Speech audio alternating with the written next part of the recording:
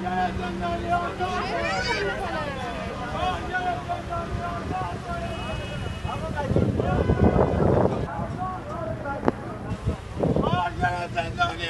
باید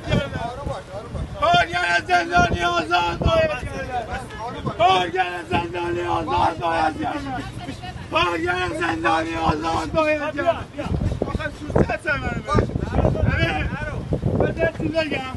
دو تا برادر من دخترم هستن جنگ هشت سال جنگ موجی برگشتن پنج سال ازشون کتک خوردم گند زدم به زندگی مو میدونی بله، بله. جانم وجودم تمام وزودم فدای وطنم خونم تو رگم نبست